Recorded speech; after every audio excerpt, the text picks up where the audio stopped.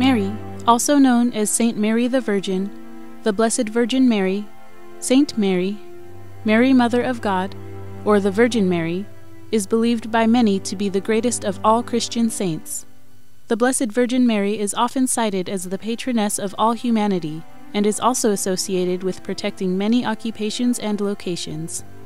Mary is believed to have been born in Jerusalem on September 8th as the daughter of Saints Joachim and Anne. She was presented in the temple and took a vow of virginity. While living in Nazareth, Mary was visited by the Archangel Gabriel, who announced to her she would become the mother of Jesus by the Holy Spirit. She then became betrothed to Saint Joseph and visited her cousin, Saint Elizabeth, who bore Saint John the Baptist, on many occasions. Elizabeth acknowledged Mary as the Mother of God. Once Emperor Augustus declared a census throughout the Roman Empire, Mary and Saint Joseph traveled to Bethlehem, where Mary gave birth to Jesus and was visited by three kings. Mary played an important role in Jesus' first recorded miracle. She was also present at the crucifixion in Jerusalem, where Jesus presented her into St. John the Apostle's care. She was with the disciples in the days before Pentecost, and it is also believed she was present at the resurrection and the ascension. No scriptural reference speaks of Mary's last years on earth.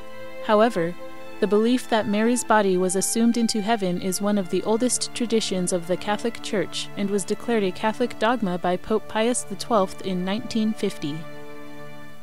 The three other Catholic dogmas are Mother of God, Perpetual Virginity of Mary, and the Immaculate Conception. In art, Mary is traditionally portrayed in blue.